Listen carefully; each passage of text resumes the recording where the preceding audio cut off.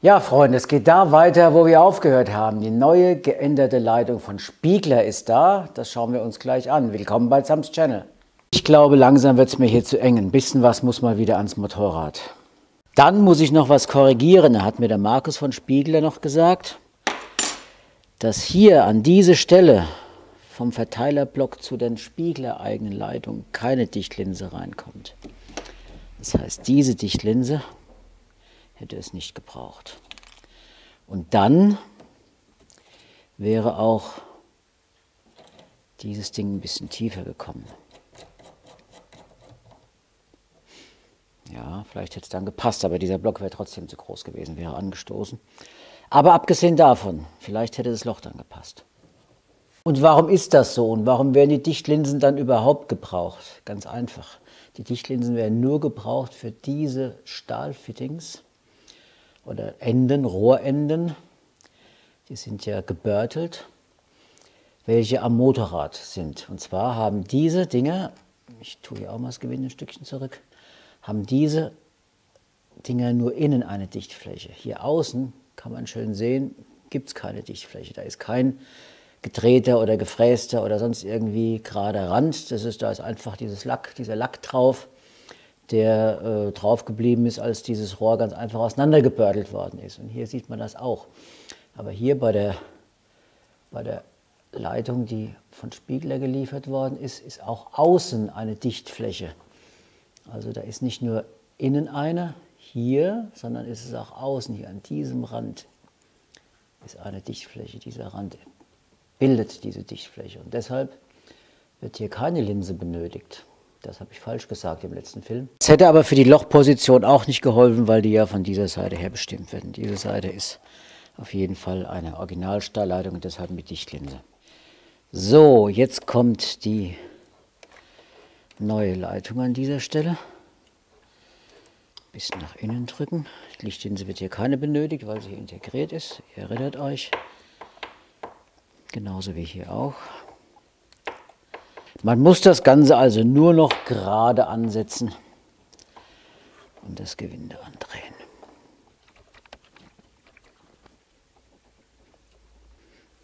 Wenn man das festmacht, sollte das so ein bisschen diese Stellung hier haben. Ja, vielleicht leicht nach außen.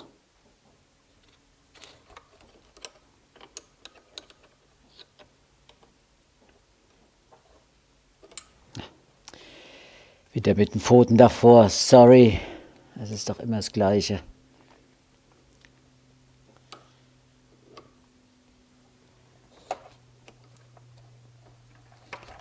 Okay.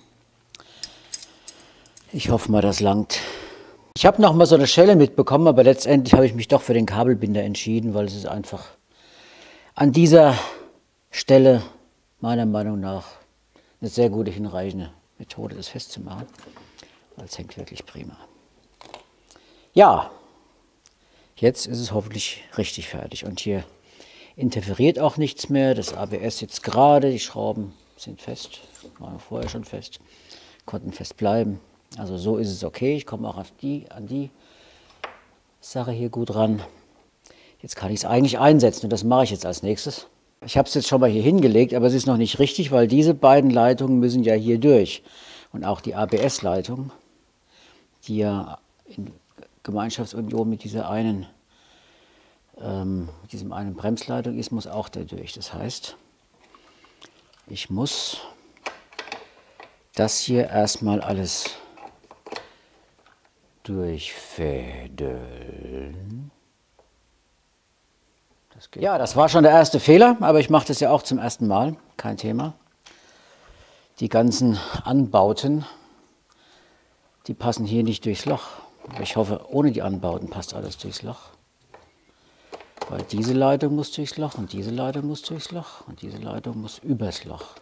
So, und wenn die Leitungen alle durchs Loch sind, durchlaucht, so, gehst du auch, komm, geh durch. So. Dann muss man diesen Zapfen, kann man sehen, was ich mache, diesen Zapfen hier, muss man hier in dieses Loch einrasten. So.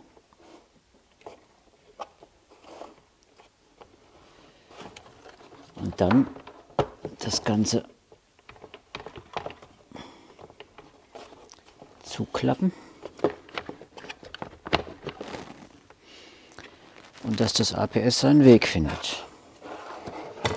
Und das hat es jetzt eigentlich getan. Die beiden Leitungen gehen unten durch. Das APS sitzt genau an seiner, an der Stelle, wo die, wo die Schrauben hin müssen. Und ich wage jetzt mal folgendes. Ich mache jetzt mal hier, es hat sich schon so automatisch eingerastet fast hier an dieser Stelle. So. Hier kann das ja im Prinzip schon mal einrasten, weil ich will das ja gar nicht mehr aufmachen, diese Seitenwand. Jetzt sieht man, wie das ABS etwas übergewichtig da drin hängt. Ach, ich tue mal irgendwas da drunter. Jetzt kommen ja diese beiden Schrauben mit ihren Aluscheiben wieder zum Einsatz. Ihr erinnert euch, dass ich die Scheiben nicht rausbekommen habe mit den Magneten, weil es Aluscheiben sind. Die eine muss hier hin und die andere muss dahin. Und die, wo ich jetzt hin zeige, da muss gleichzeitig der Kanister fest. Deshalb mache ich erstmal nur die eine rein. Und um da besser zu treffen, mache ich das, glaube ich, wieder senkrecht. Da seht ihr jetzt zwar nicht so genau, wie ich das da rein tue, aber Schraube ins Loch fallen lassen könnt ihr euch mich wahrscheinlich gerade noch so vorstellen. So. so. Also ich denke, man kann das ganz gut sehen diese Schraube. Ich ziehe die jetzt mal leicht an, lasse noch leicht locker, solange wie hier hinten noch nicht alles fest ist. Und hier hinten, dafür drehe ich das Ganze mal rum, das ganze System. Genau, hier muss nämlich die andere Schraube mit diesem Ding rein. Allerdings muss da vorher noch dieser Kanister drauf, weil der wird nämlich noch hier mit festgeschraubt. Und der kommt mit, habe ich ja auch schon gezeigt, mit diesem Verankerungsblech auf dieses Plastikteil. Und das war's schon.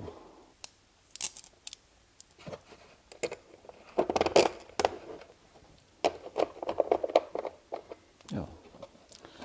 Hat gepasst, ist ergriffen.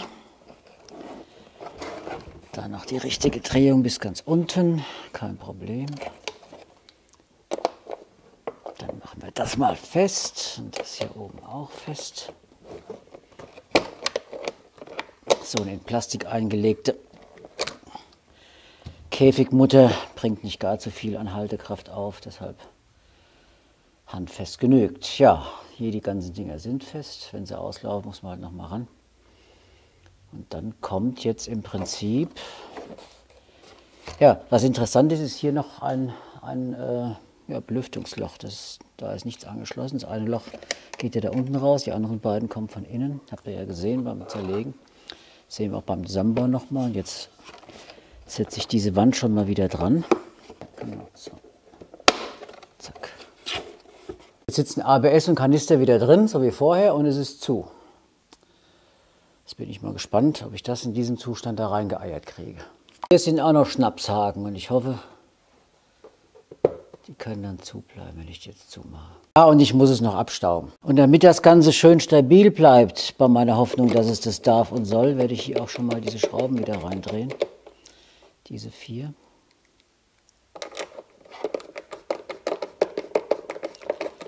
Dann ist diese Wand endgültig zu, andere Seite auch. Ich erinnere mich, dass diese Auspuffhalteschraube ab muss. Ob dieser Relaiskasten drin oder draußen sein muss, glaube ich, entscheide ich gleich, weiß ich nicht so genau. So, und jetzt kommt der erste Platzierungsversuch der Unterschale.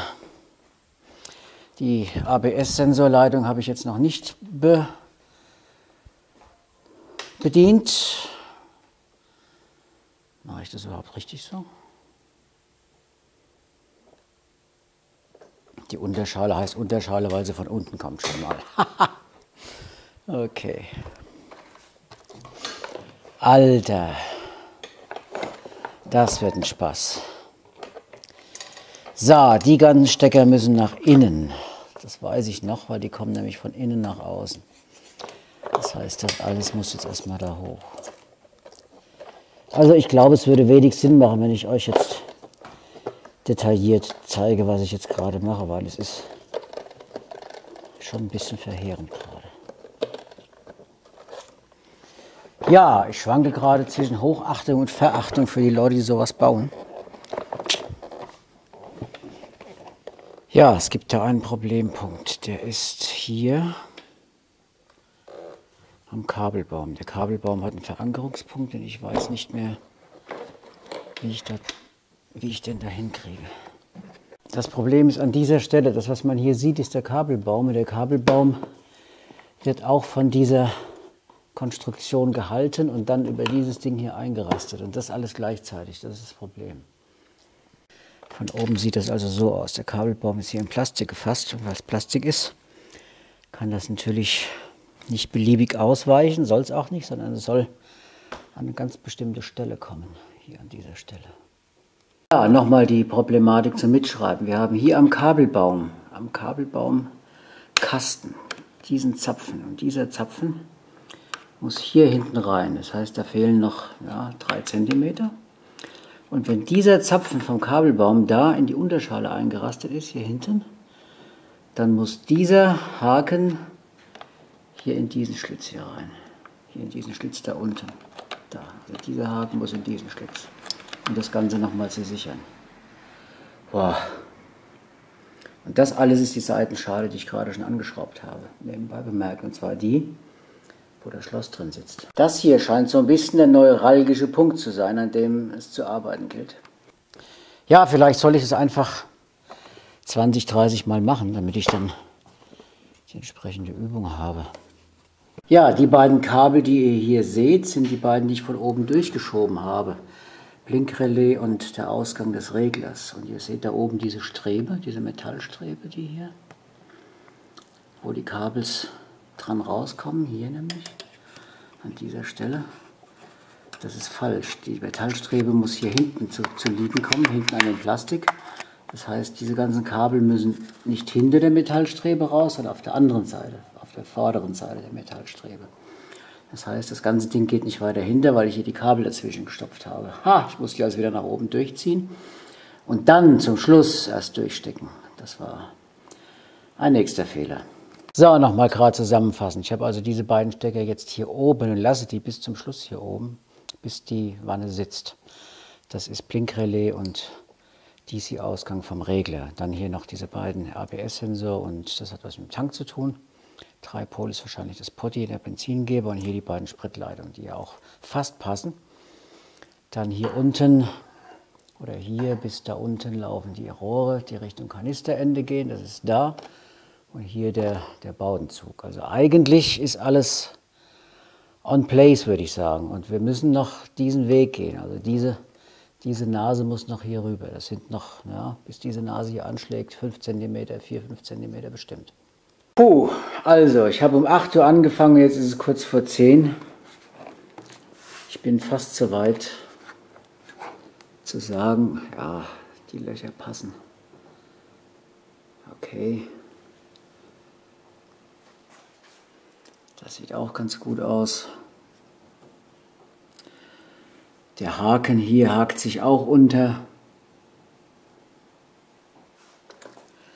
Ich habe auch Glück, dass, dass die Bremsleitung hier relativ gut passt. Also die wird sich sehr gut anziehen, denke ich mal. Ja, es war eine schwere Geburt und zwar speziell an dieser Stelle in Verbindung mit diesem Kabelstrang der sich da noch in dieses Ding einhaken lässt und dabei keinen Spielraum zulässt, überhaupt keinen. Also das war eine Schlacht, muss man einfach sagen. So. Vielleicht wird es beim zweiten Mal leichter, vielleicht wird es ein zweites Mal gehen, wenn die eine der Bremsleitungen hier leckt, an die ich so nicht rankomme. Zum Beispiel die hier, an die ich vorher auch nicht rankam. ja, das kann auch ein Spaß werden. Ja, die beiden Leitungen müssen jetzt noch durch, nach unten. Das mache ich jetzt noch gerade. Und dann schauen wir mal. ABS ist auch noch nicht angeschlossen, das ist der große Stecker hier. Übrigens die, die Rohre für, die, für den Kanister habe ich die ganze Zeit hier oben hingebunden gehabt, weil ich einfach davon ausging und das immer noch tue, dass die jetzt immer noch da durchpassen. Das sollte gehen. Ich bringe jetzt erstmal die beiden Leitungen durch dieses Loch da unten. Hallo, hier wo die Hand leuchtet. Genau, hier durch dieses Loch. Und dann wird der ABS-Stecker wieder angeschlossen, da wo er sowieso sitzt, neben seinem Stecker. Und dann kommen dann diese beiden Dinge noch, diese beiden Schläuche, die hier noch hochgebunden sind. Und dann war es das erstmal. Erstmal. Bis auf wenn irgendwas undicht ist, dann war es das noch nicht mal. So, dann stopfe ich jetzt mal diese beiden Leitungen durch. Da das so hin muss, muss die rote vielleicht als erstes durch.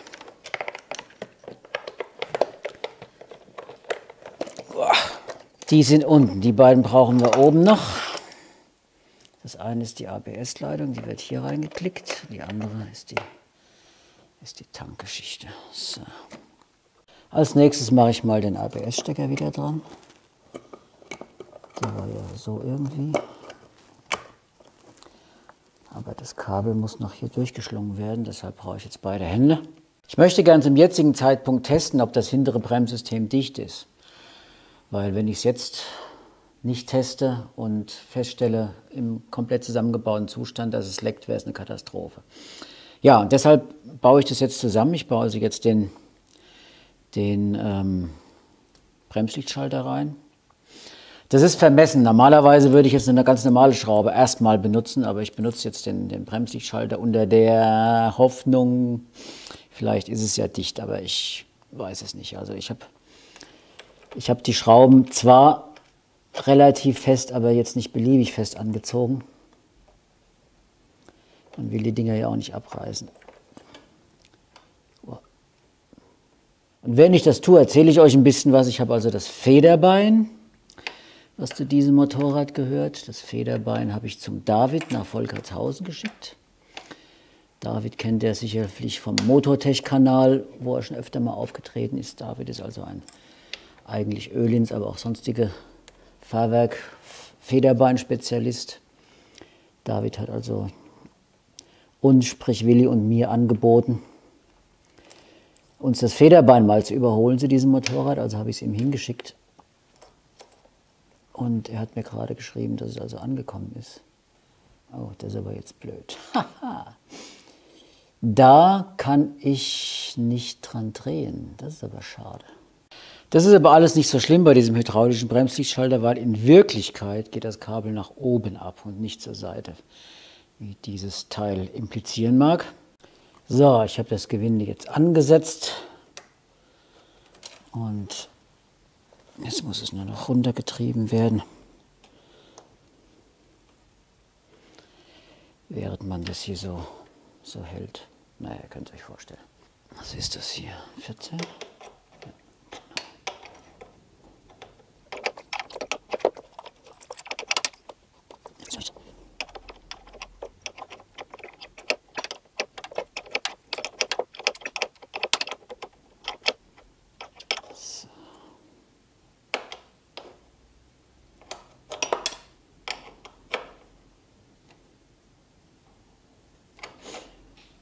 Gut, das kommt erstmal hier irgendwie weg an dieser Stelle. Hier unten mache ich mal einen, einen alten, krumm gezogenen Dummy-Bremssattel drauf. Von irgendeiner Honda ist der mal gewesen. Hat mir mal einer geschenkt. Der bremste nur noch ganz, ganz krumm, ging nicht mehr zurück. Der ist kaputt. Aber der musste nur ein bisschen Druck aushalten gerade. Und dafür wird es schon tun. So, ich fülle jetzt dieses improvisierte Bremssystem.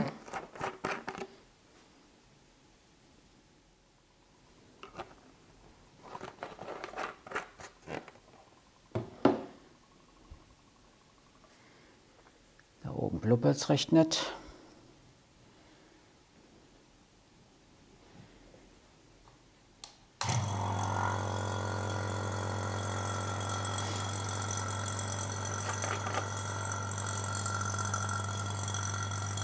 Schon wieder leer.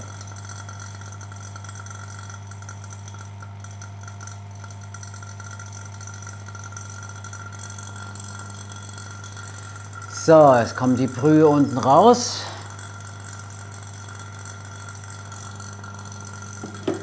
Das sollte genügen.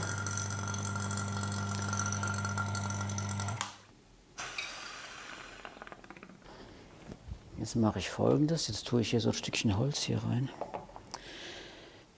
gucke, ob das Bremssystem anfängt zu beißen. Ja, das tut es tatsächlich.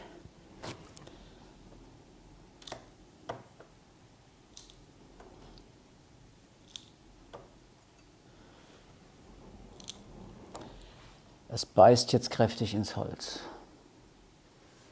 Es beißt das Holz ganz schön kaputt, muss ich sagen. Und dann muss ich mir die neuralgischen Punkte anschauen. Es ist eigentlich nur ein einziger neuralgischer Punkt. Diese eine Übergabestelle. Am Eingang des ABS. ist der kritische Punkt, diese Übergabestelle. Am Ausgang des ABS ist ja ein ganz normaler Benjo-Bolt, da komme ich dran, da kann ich fester ziehen, wenn ich müsste. Aber am Eingang des ABS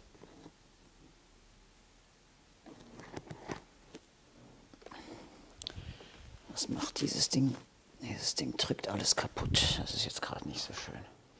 Bis jetzt sehe ich keine Flüssigkeit austreten. Sieht ganz gut aus.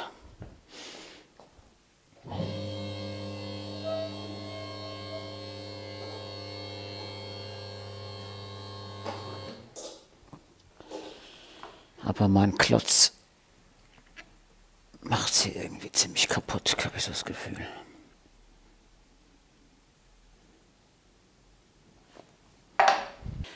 Es sieht alles trocken aus an dieser Stelle. Ich mache jetzt mal was anders. Dieses Holz, das zerquetscht es mir zu sehr, das ist mir zu spongy. Ich nehme jetzt mal ein Aluminiumstückchen. Ein Alustückchen und beiß da mal drauf.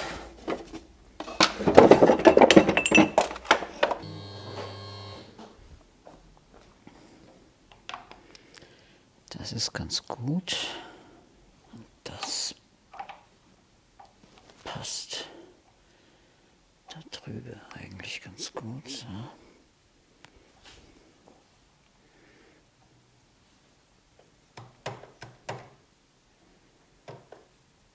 Jetzt habe ich auch einen Druckpunkt. Das ist auch ein Druckpunkt, wenn kein Holz zerdrückt wird, sondern das auf Alu beißt. Das ist gut. So, ich habe das Bremspedal jetzt betätigt über ein bisschen Holz, über einen Hebel. Man kann es hier, glaube ich, ganz gut sehen. Und hier habe ich das einfach mit einem Brettchen unter den Kühler verspannt. Das ist jetzt moderat stark betätigt, also schon relativ stark. Ich will es eine Zeit lang so lassen. Ich will aber natürlich auch die Gummis in der Bremspumpe jetzt nicht, nicht überbeanspruchen. Das heißt, ich habe jetzt nicht maximal Bremsdruck jetzt drauf, aber ungefähr die Hälfte, schätze ich mal. Hier beißt es in Alu, weil Holz hat immer nachgegeben. Das hat nicht richtig funktioniert. War keine gute Idee, aber so funktioniert es prima. Jetzt muss ich mir alle Stellen angucken, die so bleiben sollten, dürften, wenn sie dicht sind. Und das mache ich jetzt und dann lasse ich es mal ja, vielleicht eine Stunde stehen und so und gucke, ob alles trocken ist. Ich habe da jetzt also so ein blaues Tra äh, Papiertuch unter diese Trennstelle drapiert. Und jetzt lasse ich das mal eine Stunde so stehen unter Druck und wenn es dicht bleibt, dann betrachte ich das als in Ordnung. Natürlich schaue ich auch diesen Punkt an.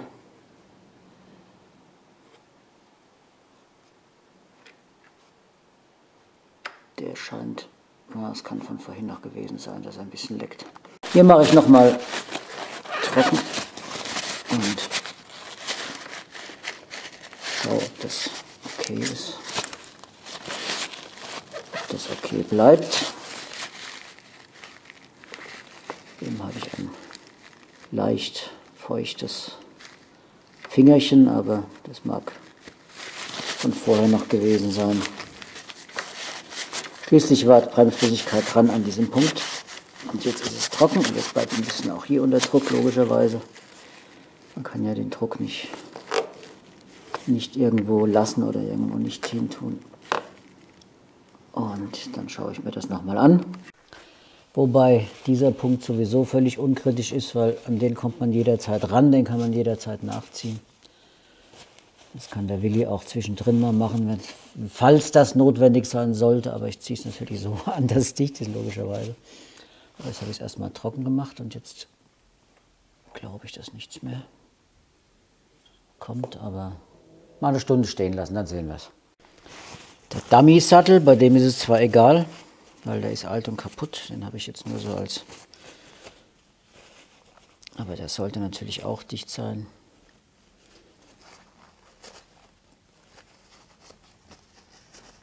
Hier habe ich übrigens alte, alte Alu-Ringe genommen. Hier wollte ich gerade einen neuen benutzen.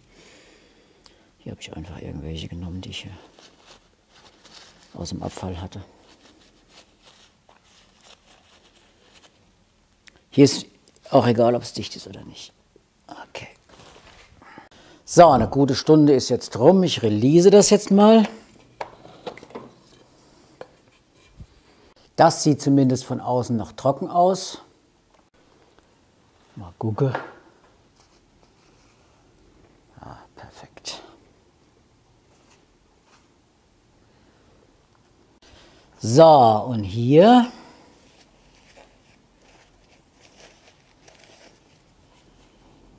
ist leicht feucht. Ganz, ganz leicht feucht.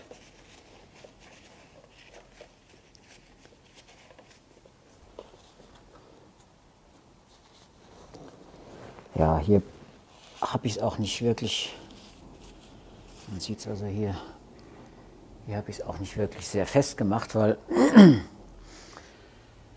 man möchte das eigentlich nicht so unbedingt so, so sehr festmachen dann auch.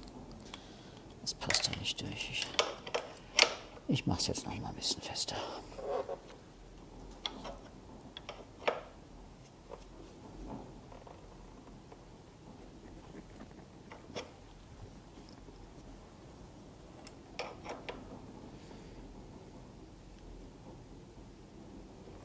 Zack, das ging noch mal 10 Grad. Ein schöner Ruck. Jetzt müsste es endgültig sein. Jetzt lasse ich das Ding nach hinten. Und es muss hier in den Gegenstecker rein, hier oben.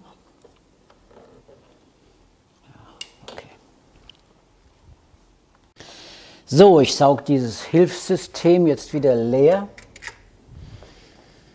weil ich das jetzt erstmal nicht mehr brauche. Man kann die Brühe zwar drin stehen lassen, aber ich, will's, ich will es los sein. So. Pumpe los. Und dann raus mit dem Zeug.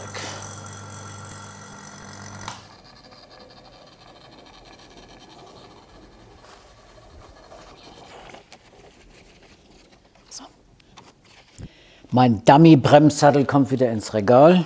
Der hat nichts mehr zu tun. Vielleicht muss er noch mal irgendwann als Dummy dienen. Oh, oh jetzt sind meine Klötze rausgefallen, logischerweise. Na komm. Ups.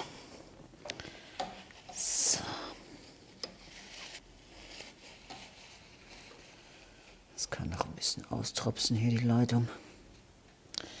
Man sieht auch gebrauchte Aluscheiben halten noch dicht. Also wenn man keine neuen hat, ist das jetzt keine Katastrophe. Man benutzt natürlich immer neue und sie kosten ja auch nichts, aber falls man keine hat, braucht man da jetzt nicht an schlaflosen Nächten irgendwie zugrunde gehen. Bremsentestaufbau ist jetzt weggeräumt. Der David hat ein paar Bilder von dem zerlegten ähm, oder in Zerlegung befindlichen Federbein geschickt. Und die zeige ich euch mal, die blende ich euch mal ein, wenn er nichts dagegen hat. Dann muss ich ihn allerdings noch fragen. Wir sehen hier also das Federbein im Zuge der Zerlegung. Hier ist die Feder noch dran. Hier ist die Feder schon ab und liegt nebendran. Das ist die Dämpferkartusche. Hier kann man sehen, wie die Kraft der Feder gemessen wird. Das ist ein Wegkraftmessgerät. Und wir haben hier also 80 Newton pro Millimeter. Das ist die Federrate dieser Feder. Ja, der David hat ausgerechnet, dass der Willi eine andere Feder bräuchte, idealerweise. wenn alles optimal abgestimmt ist. Und der David hat auch schon eine ausgesucht, eine andere Feder für den Willi. Und ich muss noch ein Adapterstück dann drehen auf der Drehbank. Einen Spacer. Kann ja ab und zu mal passieren, dass man mal einen Spacer drehen muss bei sowas, ist ganz klar. Ja, und was ich jetzt tun will, ist da jetzt so ziemlich sicher sein dürfte, dass das, dass das Ding hier, diese Unterschale hier drin bleiben darf, werde ich die Schläuche wieder verlegen. Es macht Sinn, das ganz zum Schluss zu tun.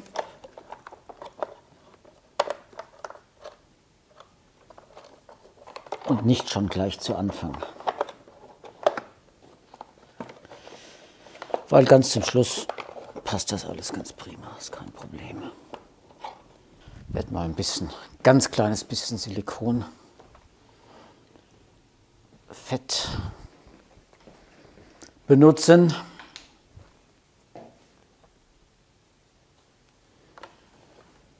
Den Stutzen damit ein bisschen einreiben. Ganz wenig, so dass gerade sichtbar ist, dass was drauf ist.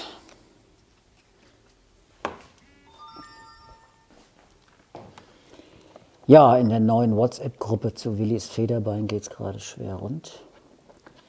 David und Willi diskutieren die ganzen Optionen durch, während ich hier sein Motorrad wieder zusammenbaue. Ja, kann ich euch zeigen, was ich hier tue? Schwierig. Ich habe gerade den Schlauch hier unten wieder aufgesteckt und will jetzt den, den Ver, Verankerer dann vorschieben. Und dann kommt der, der zweite Schlauch, der kommt von oben.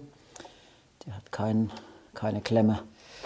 Ich hoffe nur, ich habe nicht noch irgendwas irgendwie vergessen. Das wäre echt blöd.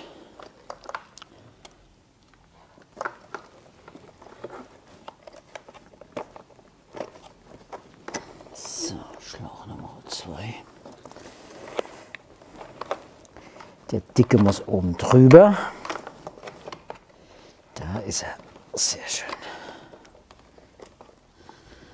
So. Und drauf damit. Prima. Gut, ABS-Stecker steckt auch schon. Der steckte vorher schon. Jetzt werde ich das ABS-Kabel verlegen. ABS-Kabel von hinten.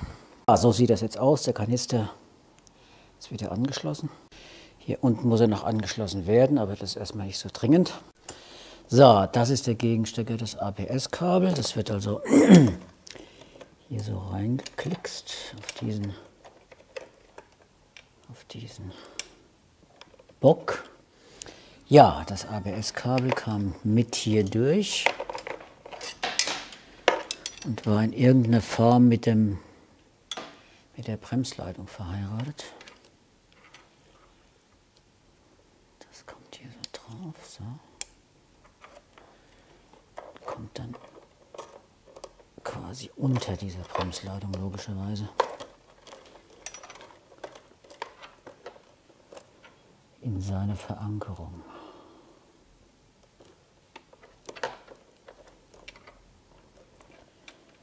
Und das hing da sehr stramm drin, kann ich mich dran erinnern. Aua!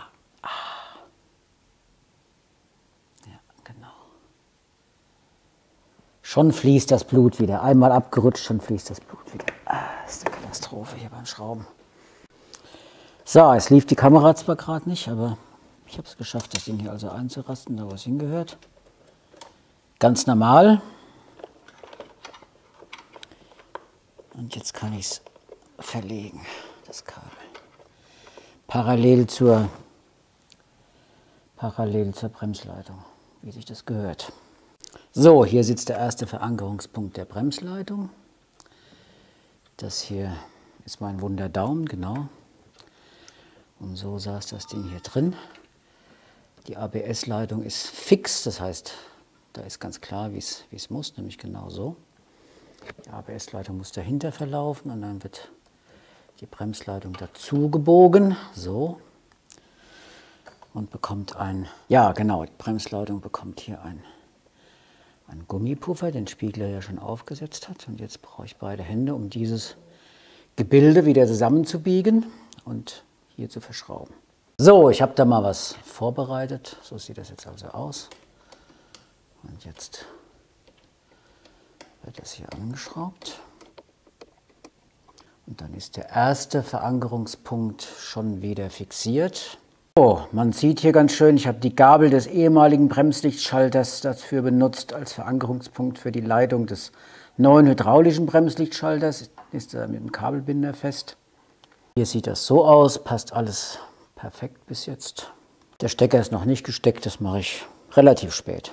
Die Tülle des hydraulischen Bremslichtschalters vom Anschluss fixiere ich nochmal ganz gerne mit einem Kabelbinder. Die anderen beiden Befestigungspunkte montiere ich, wenn die Schwinge wieder dran hängt. Die mache ich aber erst dann dran, wenn das Federbein wieder da ist. Genau, und das Hinterrad fehlt auch noch. Das Hinterrad hat der Willi nämlich mitgenommen. War hier eine Klammer dran? Nee, war keine Klammer. Die Drainage vom Kanister. So, was haben wir hier? Was haben wir hier? Das Blinkrelais. Der Gegenstecker vom Blinkrelais. Warum muss der jetzt? So, glaube ich. Genau. Hat Klick gemacht, schön.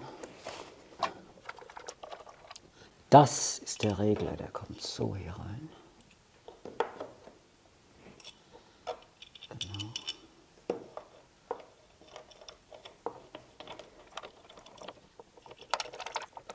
Na komm, greif. Danke.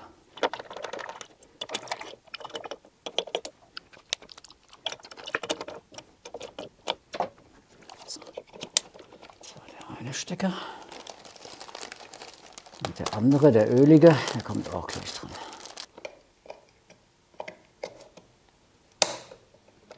Kabel verlegt, alles gut.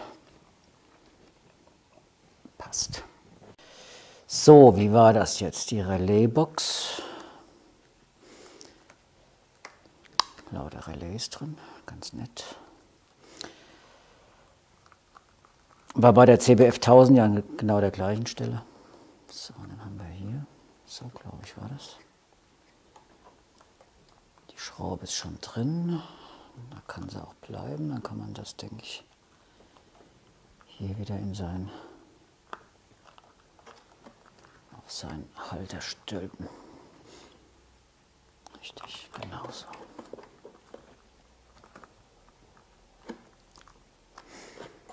Gut. Ja, die ganzen Gehäuseteile hier hinten sind erstmal nicht so wichtig. Das mache ich ganz zum Schluss, das ist ja in ein paar Minuten erledigt. Ähm, das nächste, was zu tun wäre, wäre das Federbein wieder zu montieren und die, das hintere Fahrwerk. Aber wie gesagt, das Federbein fehlt noch. Und der Willi hat auch noch das Hinterrad zum Saubermachen. Jo, okay. Dann mache ich hier an dieser Stelle erstmal Schluss und lasse das jetzt so und kümmere mich um den Vorderbau. Dazu muss ich erstmal gucken, dass ich das Motorrad hinten runter und vorne hoch bekomme. Genau. Wir wollen ja das Gabelöl wechseln und das Lenkkopflager wollen wir auch schmieren. Willi hat mich gebeten, ob ich das Lenkkopflager schmiere. Das muss ich mal gucken, ob das so geht. Ja, das geht so. Ich muss also gucken, dass ich das hier hinten runterziehe, dann ist es vorne in der Luft. Mehr brauche ich eigentlich nicht. Ja, das könnte so der Plan sein. Zwei Automatikgurte hier oben eingehängt über ein paar Schlaufen. Schauen wir mal.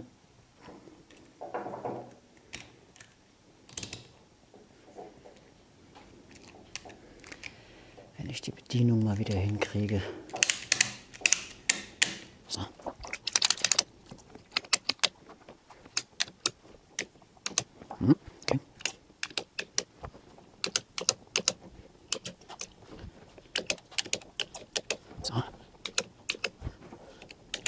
ganz schön Zug drauf, aber das macht nichts. Dann haut es wenn es nicht ab. Ein Hauptständer ist schon was Gutes. So, hier sind wir jetzt frei. Bremsen schleifen noch leicht. Hier ist der ABS-Sensor, den machen wir hoch. So. Kommt immer wieder runter. Ah!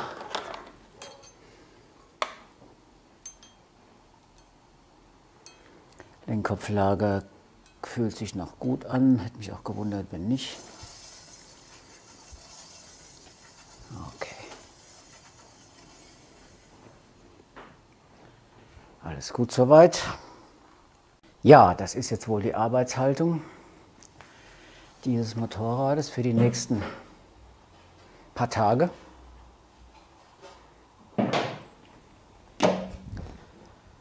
Nämlich abgespannt, wie ein Zelt. Hier habe ich die Schlaufen also über diese etwas stabileren Ösen da dran gemacht. Das ist also hinreichend. Ja, ich mache jetzt mal einen kleinen Schnitt. Ich musste mich jetzt weg. Wir haben heute Stammtisch vom CBF 1000 Forum Rhein-Main. Stammtisch und da fahre ich jetzt hin. Ja. Und demnächst sehen wir uns wieder mit der Zerlegung der Front von diesem Motorrad und Gabelölwechsel und solchen Geschichten. Ne? Bis demnächst bei Zams Channel. Macht's gut.